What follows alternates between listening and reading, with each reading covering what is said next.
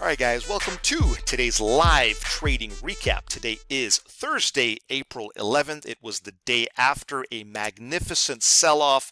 I was expecting some follow through from yesterday's sell off, and boy, did we get it today.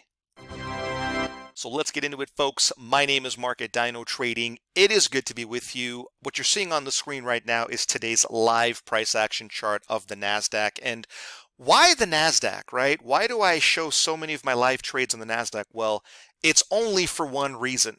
And that reason is the NASDAQ is averaging well over 1,000 ticks or pips if you follow along in Forex, okay? In average daily range every single day. I mean, think about that, right? As traders, if we can just capture a small fraction of that move, then my goodness, are we going to get rich? All right? Because if I've said it once, then I've said it a thousand times, folks. I believe that trading volatility is how you make money.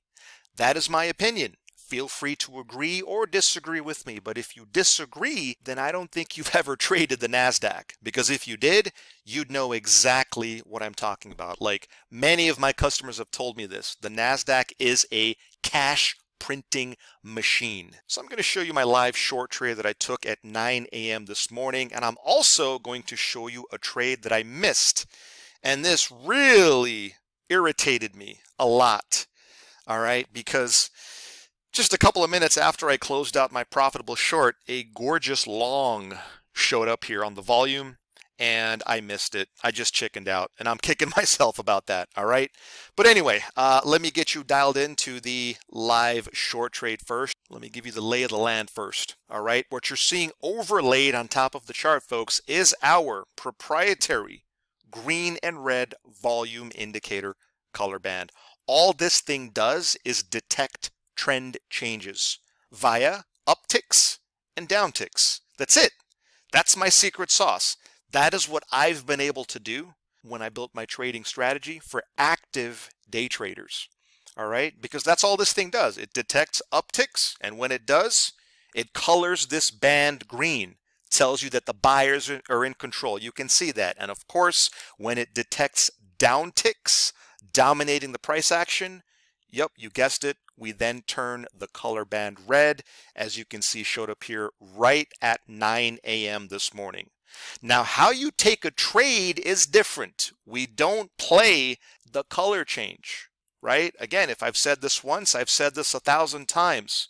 We prefer to trade the retracement.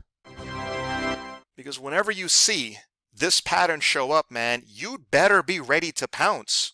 And if you didn't pounce on this this morning, folks, shame on you right? I mean, just take my word for it, folks. There is something special about trading volume. It is the only indicator that you're going to ever see me put on the chart, okay? Because my charts will never, ever look like this. I'm not interested in putting 50 million squiggly lines on my candlestick nonsense, right? That's why I call these chart garbage charts. I have no idea how anybody can find success when you're trading this garbage. And anybody who is using these type of candlesticks and Bollinger Bands and all this other trash, they're retail traders or amateur traders and generally people who don't know what they're doing. These are the people that blow out account after account, right? Anyway, like I was saying, when you see a retracement show up against the vol color band, bro, you got to pounce on it. You can't even think about it. You just have to react. Okay, so take a look at my live fills. All right, can you see this? SE number one and SE number two. I went short two contracts on the NAS today. You can see I got filled at 243 and a half, and I'm in this short trade with my stop loss in place. I mean, that's it, folks. When I say react, it's boom. I enter short and I immediately place the stop loss. And you know what comes next, right?